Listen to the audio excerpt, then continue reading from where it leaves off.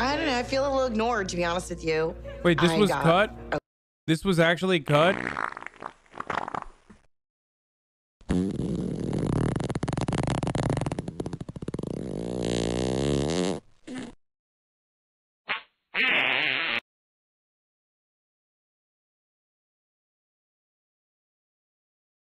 It's a week off for you, you fucking asshole.